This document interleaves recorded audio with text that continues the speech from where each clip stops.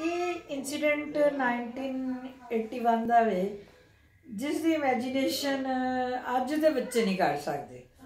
ਇਹ ਉਸ ਜ਼ਮਾਨੇ ਦੀ ਗੱਲ ਹੈ, ਜਦੋਂ ਚੰਡੀਗੜ੍ਹ ਦੇ ਵਿੱਚ ਤਾਂ ਖੈਰ ਕੁਝ ਸਿਨੇਮਾਜ਼ ਹੋਇਆ ਕਰਦੇ ਸੀਗੇ, ਤੇ ਸਾਡੀ ਸ਼ਾਦੀ 1981 ਵਿੱਚ ਹੋਈ, ਤੇ ਇਹ ਮੇਰੇ ਹਸਬੰਡ ਜਿਹੜੇ ਸੀ, ਉਹ ਬਠਿੰਡਾ ਦੇ ਇੱਕ ਸ਼ਹਿਰ ਰਾਮਪੁਰਾ ਫੂਲ ਦੇ ਵਿੱਚ ਰਹਿੰਦੇ ਸੀਗੇ। ਮੈਂ ਕਦੀ ਇਹੋ ਜਿਹਾ ਪਿੰਡ ਜਾਂ ਕਸਬਾ ਜਿਹੜਾ ਵੇ, ਉਹ ਵੇਖਿਆ ਨਹੀਂ ਸੀ, ਕਿਉਂਕਿ ਅਸੀਂ ਸ਼ੁਰੂ ਤੋਂ ਲੈ ਕੇ ਸ਼ਹਿਰ ਦੇ ਵਿੱਚ ਰਹਿੰਦੇ ਸੀ, ਉਹ ਬੇਸ਼ੱਕ ਉਹ ਬਹੁਤ ਵੱਡਾ ਸ਼ਹਿਰ ਨਹੀਂ ਸੀ, ਲੇਕਿਨ ਉੱਥੇ ਹਰ ਚੀਜ਼ ਦੀ ਜਿਹੜੀ ਫੈਸਿਲਿਟੀ ਹੈ, ਔਰ ਡਿਵੈਲਪ ਅੱਛਾ ਹੋਇਆ ਹੋਇਆ ਸੀ। ਤੇ ਫਿਰ ਚੰਡੀਗੜ੍ਹ ਚੰਡੀਗੜ੍ਹ ਵੀ ਬਹੁਤ ਅੱਛਾ ਸਿਟੀ ਪੰਜਾਬ ਦੇ ਚੰਗੇ ਸ਼ਹਿਰਾਂ ਦੇ ਵਿੱਚੋਂ ਗਿਣਿਆ ਜਾਂਦਾ ਸੀ, ਤੇ ਉੱਥੇ ਮੈਂ ਰਹਿੰਦੀ ਹੁੰਦੀ ਸੀ।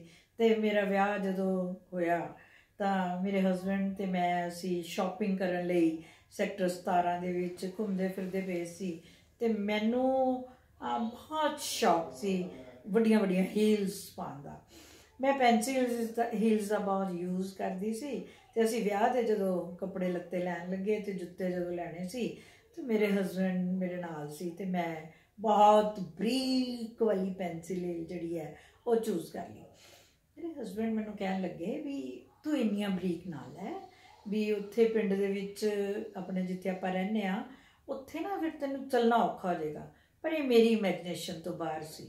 ਮੈਂ ਕਿਹਾ, ਨਹੀਂ ਨਹੀਂ, ਅਸੀਂ ਪਹਾੜਾਂ 'ਚ ਵੀ ਚੱਲ ਲੈਂਦੇ ਆ ਆਹ ਕਿਹੜੀ ਗੱਲ ਹੈ? ਮੈਂ ਤੇ ਚੱਲ ਲੈਣਾ ਐਵੇਂ ਉਹਦੇ ਨਾਲ, ਐਡੀ ਤੇ ਕੋਈ ਗੱਲ ਨਹੀਂ ਹੈ।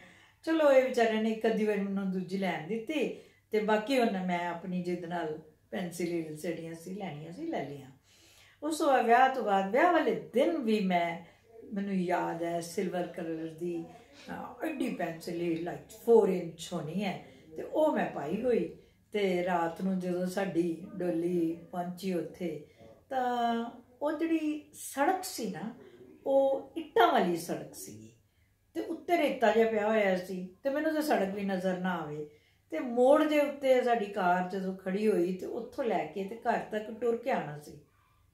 ਬਈ ਉੱਥੇ ਤਾਂ ਮੇਰੀ ਜਿਹੜੀ ਹਾਲਤ ਹੋਈ ਉਹ ਤਾਂ ਵੇਖਣ ਵਾਲੀ ਸੀ ਕਿ ਉਹ ਜਿਹੜੀ ਪੈਨਸਿਲ ਮੇਰੀ ਹੀਲ ਸੀ, ਉਹ ਜਿਹੜੀਆਂ ਇੱਟਾਂ ਸਨ, ਉਹਨਾਂ ਦੇ ਵਿੱਚ ਗੱਡ ਜਾ ਕਰੇ ਤੇ ਉਹ ਮੇਰੇ ਕੋਲ ਅੱਗੋਂ ਟੁਰਿਆ ਨਾ ਜਾਇਆ ਕਰੇ। ਮੈਂ ਬੜੀ ਐਮਬੈਰਸ ਵੀ ਹੁਣ ਇੱਥੇ ਮੈਂ ਕਰਾਂ ਤੇ ਕਰਾਂ ਕੀ? ਰਾਤ ਦਾ ਟਾਈਮ ਸੀ, ਮੈਨੂੰ ਦਿਸੇ ਕੋਈ ਖਾਸ ਹੈ ਨਾ ਵੀ ਕਿੱਥੇ ਪੈਰ ਰੱਖਾਂ। ਐਨੀਵੇਜ਼ ਮੈਂ ਬੜੀ, ਉਹ ਕਿੱਲੇ ਵਾਂਗ ਨਾ ਉੱਥੇ ਠੁੱਕ ਜਾ ਕਰੇ।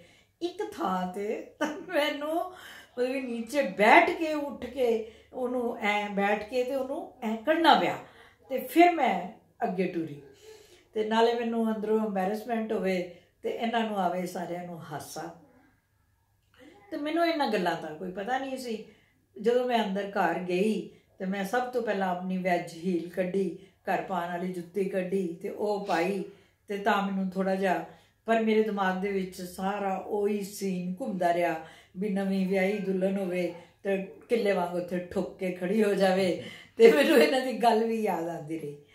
ਚਲੋ 2-4 ਦਿਨ ਬੀਤੇ, ਅਸੀਂ ਬੜੇ ਅੱਛੇ ਰਹਿ ਰਹੇ ਸੀ ਤੇ ਮੈਂ ਆਪਣੇ ਹਸਬੰਡ ਨੂੰ ਕਿਹਾ ਵੀ ਮੈਨੂੰ ਪਿਕਚਰਸ ਦੇਖਣ ਦਾ ਬਹੁਤ ਸ਼ੌਕ ਸੀ, ਬਹੁਤ ਸ਼ੌਕ ਸੀ। ਕਿਉਂਕਿ ਉਦੋਂ ਇਹ ਉਸ ਜ਼ਮਾਨੇ ਦੇ ਵਿੱਚ ਨਾ ਐਂਟਰਟੇਨਮੈਂਟ ਪਿਕਚਰਸ ਤੋਂ ਇਲਾਵਾ ਆਈ ਥਿੰਕ ਕੋਈ ਵੀ ਨਹੀਂ ਸੀ ਹੁੰਦਾ। ਤੇ ਮੈਨੂੰ ਇੰਨਾ ਸ਼ੌਕ ਵੀ ਮੈਂ ਪਿਕਚਰ ਦੇਖਣਾ ਪਿਕਚਰ ਇਹ ਲੋਕ ਨਾ ਬਠਿੰਡਾ ਦੇਖਣ ਜਾਂਦੇ ਸੀ।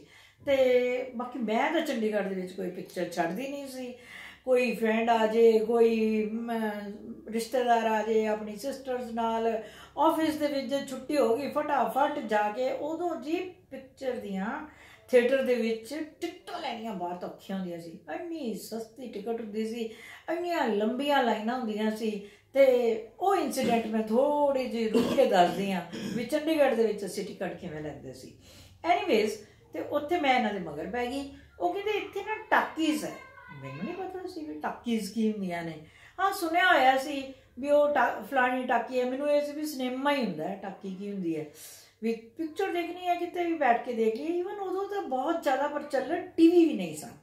ਤੇ ਇਸ ਕਰਕੇ ਥੀਏਟਰ ਦੇ ਵਿੱਚ ਜਾਣ ਤੋਂ ਇਲਾਵਾ ਕੋਈ ਵੀ ਹੋਰ ਐਂਟਰਟੇਨਮੈਂਟ ਦਾ ਸਾਡੇ ਕੋਲ ਸਾਧਨ ਨਹੀਂ ਸੀ ਹੁੰਦਾ। ਅਸੀਂ ਜੇ, ਮੈਂ ਜਿੱਦ ਕਰਕੇ ਇਹਨਾਂ ਨਾਲ ਚਲੀ ਗਈ। ਤੇ ਜਦੋਂ ਅਸੀਂ ਥੀਏਟਰ ਨਾਲ ਟਾਕੀਜ਼ ਹੈ ਸਾਡੇ ਘਰ ਦੇ ਬਿਲਕੁਲ ਨੇੜੇ ਸੀ 2-3 ਮਿੰਟ ਦਾ ਹਾਰਡਲੀ ਟੁਰ ਕੇ ਰਸਤਾ ਸੀ ਤੇ ਅਸੀਂ ਚਲੇ ਗਏ। ਜਦੋਂ ਗਏ ਤੇ ਉਹ ਜਿਹੜਾ ਗੇਟਮੈਨ ਸੀਗਾ, ਉਹਨੂੰ ਅਸੀਂ ਜਦੋਂ ਆਪਣੀਆਂ ਟਿਕਟਸ ਦਿਖਾਈਆਂ, ਉਹ ਕਹਿੰਦਾ, ਬੀਬੀਆਂ, ਉਧਰ ਚਲੇ ਜਾਓ। ਤੇ ਜਿਹੜੇ ਬੰਦੇ ਨੇ ਉਹ ਇੱਧਰ ਆ ਜਾਓ। ਮੈਂ ਕਿਹਾ, ਹਾਂ, ਗੁਰਦੁਆਰੇ ਆਇਆ ਕਿ ਫਿਲਮ ਦੇਖਣ ਆਇਆ? ਮੈਨੂੰ ਬੜਾ ਹੀ ਬੜਾ ਹੀ ਮੈਨੂੰ ਹਾਸਾ ਵੀ ਆਇਆ ਤੇ ਮੈਂ ਜਾ ਕੇ ਨਾ 10 ਕੁ ਮਿੰਟ ਬੈਠੀ ਇੱਧਰ ਦੇਖ, ਉੱਧਰ ਦੇਖ, ਕੋਈ ਸਵਾਦ ਨਾ ਆਇਆ। ਵੀ ਬੰਦਾ ਆਪਣਾ ਨਾਲ ਨਾ ਹੋਵੇ, ਤੁਹਾਨੂੰ ਹੱਸਣ ਦਾ ਨਹੀਂ ਫੈ- ਪਤਾ, ਤੁਹਾਨੂੰ ਤੁਸੀਂ ਕੋਈ ਗੱਲ ਨਹੀਂ ਕਰ ਸਕਦੇ, ਤੁਸੀਂ ਸ਼ੇਅਰ ਨਹੀਂ ਕਰ ਸਕਦੇ, ਤਾਂ ਪਿਕਚਰ ਦੇ ਵਾਸਤੇ ਦੇਖਣ ਗਏ ਹੋ। 10-15 ਮਿੰਟ ਮੈਂ ਪਿਕਚਰ ਦੇਖੀ, ਉਸ ਤੋਂ ਬਾਅਦ ਉੱਠ ਕੇ ਮੈਂ ਉਹਨਾਂ ਨੂੰ ਇਸ਼ਾਰਾ ਕੀਤਾ ਵੀ ਚੱਲੀਏ ਆਪਾਂ। ਵੀ ਆਪਾਂ ਨਹੀਂ ਦੇਖਣੀ ਫਿਲਮ ਫਿਲਮ ਕਹਿੰਦੇ ਆਇਆ ਸੋ ਸਵਾਦ ਤੈਨੂੰ ਟਾਕੀਸ ਫਿਲਮ ਦੇਖਣ ਦਾ। ਮੈਂ ਕਿਹਾ ਵੀ ਮੈਨੂੰ ਨਹੀਂ ਨੌਲੇਜ ਸੀਗੀ, ਮੈਨੂੰ ਬਿਲਕੁਲ ਵੀ ਨਹੀਂ ਪਤਾ ਸੀ। ਐਨੀਵੇਜ਼ ਅਸੀਂ ਫਿਰ ਬਠਿੰਡਾ ਜਾ ਕੇ ਉੱਥੇ ਹੈਗਾ ਸੀ ਥੀਏਟਰ ਉੱਥੇ ਅਸੀਂ ਪਿਕਚਰ ਦੇਖੀ। ਉਸ ਤੋਂ ਬਾਅਦ ਮੈਂ ਗੱਲ ਦੱਸ ਰਹੀ ਸੀ, ਚੰਡੀਗੜ੍ਹ ਦੇ ਵਿੱਚ ਟਿਕਟਾਂ ਦੀ ਅਵੇਲੇਬਿਲਟੀ ਦੀ। ਟਿਕਟਾਂ ਨਹੀਂ ਮਿਲਦੀਆਂ ਹੁੰਦੀਆਂ ਸੀ। ਇੱਥੇ ਪਿਕਾਰਡਲੀ ਸਿਨੇਮਾ ਸੀ। ਤੇ ਅਸੀਂ ਬਾਹਰ ਨਾ ਲਾਈਨ 'ਚ ਖੜੇ ਰਹੇ, ਮੈਂ ਤੇ ਮੇਰੀ ਫਰੈਂਡ ਖੜੇ ਰਹੇ ਖੜੇ ਰਹੇ। ਟਿਕਟ ਨਹੀਂ ਮਿਲੀ ਹੈਗੀ। ਮੈਂ ਆ ਕੇ ਮੈਂ ਬੜੀ ਇਸ ਗੱਲ ਦੇ ਵਿੱਚ ਥੋੜੀ ਜੀ ਸੀਗੀ ਮੈਂ ਫਟਾਫਟ ਅੰਦਰ ਚਲੀ ਗਈ ਅੰਦਰ ਮੈਨੇਜਰ ਦਾ ਕਮਰਾ ਸੀ। ਐਨੀਵੇਜ਼ ਮੈਨੇਜਰ ਹੀ ਹੋਏਗਾ ਬੈਠਾ ਹੋਇਆ। ਤੇ ਮੈਂ ਉੱਥੇ ਜਾ ਕੇ ਖੜੀ ਹੋਈ ਤੇ ਮੈਂ ਉਹਨੂੰ ਜੇ ਪੁੱਛਣਾ ਹੀ ਸੀ ਵੀ ਟਿਕਟ ਕਿਦਾਂ ਕਿਵੇਂ ਮਤਲਬ ਦੇ ਦੇਗਾ ਜਾਂ ਕਿਵੇਂ ਲਈਏ। ਤੇ ਸਾਡੇ ਤੋਂ ਅਗਲਾ ਬੰਦਾ ਉਹਨੂੰ ਕਹਿੰਦਾ ਅਹ, ਸਰ ਮੈਨੂੰ ਨਾ ਸ਼ਰਮਾ ਜੀ ਨੇ ਭੇਜਿਆ। ਮੈਂ ਕਿਹਾ ਅੱਛਾ ਉਹਨੇ ਚਾਰ ਟਿਕਟਾਂ ਦੇ ਦਿੱਤੀਆਂ। ਮੈਂ ਅੰਦਰ ਉਸ ਤੋਂ ਬਾਅਦ ਬੜੀ, ਮੈਂ ਕਿਹਾ, ਸਰ, ਸਾਨੂੰ ਸ਼ਰਮਾ ਜੀ ਨੇ ਭੇਜਿਆ ਤੇ ਉਹਨੇ ਸਾਨੂੰ ਦੋ ਵੀ, ਦੋ ਤਿੰਨ ਕੁੜੀਆਂ ਸੀ ਅਸੀਂ, ਤੇ ਸਾਨੂੰ ਉਹਨੇ ਟਿਕਟਾਂ ਦੇ ਦਿੱਤੀਆਂ। ਉਸ ਤੋਂ ਬਾਅਦ ਤਾਂ ਬੜੀ ਮੌਜਾਂ ਬਣੀਆਂ। ਆਪਾਂ ਸਿੱਧਾ ਜਾਣਾ ਮੈਨੇਜਰ ਦੇ ਕਮਰੇ ਦੇ ਵਿੱਚ, ਤੇ ਸ਼ਰਮਾ ਜੀ ਨੇ ਭੇਜਿਆ। ਪਤਾ ਨਹੀਂ ਵੀ ਸ਼ਰਮਾ ਕੌਣ ਸੀ, ਕੌਣ ਨਹੀਂ, ਬਿਲਕੁਲ ਵੀ ਨਹੀਂ ਪਤਾ ਸੀ। ਔਰ ਅਸੀਂ ਥੀਏਟਰ ਵਿੱਚ ਜਾਣਾ ਤੇ ਪਿਕਚਰ ਦੇਖ ਕੇ ਆ ਜਾਣਾ। ਇੱਕ ਦਿਨ ਮੈਂ ਬੈਠੀ ਬੈਠੀ ਨੇ ਸੋਚਿਆ ਇਹ ਰੱਬਾ ਜੇ ਬਾਈ ਚਾਂਸ ਰੱਬ ਨਾ ਕਰੇ ਸ਼ਰਮਾ ਨਾ ਰਿਹਾ ਹੋਵੇ ਤੇ ਉਹ ਕਹੇਗਾ, ਇਹਨੂੰ ਉੱਤੋਂ ਸ਼ਰਮਾ ਜੀ ਨੇ ਭੇਜਿਆ ਤੇ ਮੈਂ ਨਾ ਮੈਂ ਨਾ ਸੋਚਿਆ ਵੀ ਇਹ ਬੰਦ ਕਰ ਦਿਆ ਇਹ ਵਾਲੀ ਗੱਲ। ਚਲੋ, ਉਹ ਗੱਲ ਬੰਦ ਕਰ ਦਿੱਤੀ। ਟਿਕਟਸ ਦਾ ਅਸੀਂ ਕੋਈ ਹੋਰ ਸੋਰਸ ਲੱਭਿਆ। ਬਾਅਦ ਵਿੱਚ ਮੇਰਾ ਜਦੋਂ ਵਿਆਹ ਹੋਇਆ, ਤਾਂ ਮੈਨੂੰ ਪਤਾ ਲੱਗਾ ਵੀ ਉਹ ਕੇਦਾਰਨਾਥ ਸ਼ਰਮਾ ਜੀ ਸੀ ਹੈ ਜਿਹਨਾਂ ਦਾ ਥੀਏਟਰ ਸੀ, ਉਹਦਾ ਨਾਮ ਅਸੀਂ ਲੈ ਲੈ ਕੇ ਜਿਹੜਾ ਨਾ ਅਸੀਂ ਲੈਂਦੇ ਰਹੇ। ਪਿਕਚਰ ਦੇਖਣ ਦਾ ਇੰਨਾ ਐਂਟਰਟੇਨਮੈਂਟ ਦਾ ਉਦੋਂ ਕੋਈ ਨਾ ਸਾਧਨ ਹੋਣ ਕਰਕੇ ਬੜੇ ਪਾਪੜ ਵੇਲਨੇ ਪੈਂਦੇ ਸੀਗੇ। ਔਰ ਪਿਕਚਰ ਅਸੀਂ ਜ਼ਰੂਰ ਦੇਖਣੀ ਹੁੰਦੀ ਸੀ। ਐਦਾਂ ਹੀ ਸਾਨੂੰ ਇਹ ਕੁਝ ਮੈਮਰੀਜ਼ ਜਿਹੜੀਆਂ ਨੇ ਉਹ ਮੈਨੂੰ ਯਾਦ ਰਹਿ ਗਈਆਂ ਤੇ ਤੁਹਾਡੇ ਨਾਲ ਸ਼ੇਅਰ ਕੀਤੀਆਂ ਤੇ ਇਹ ਵੀਡੀਓ ਵੇਖਣ ਵਾਸਤੇ ਤੁਹਾਡਾ ਬੜਾ ਬੜਾ ਸ਼ੁਕਰੀਆ। Thank you very much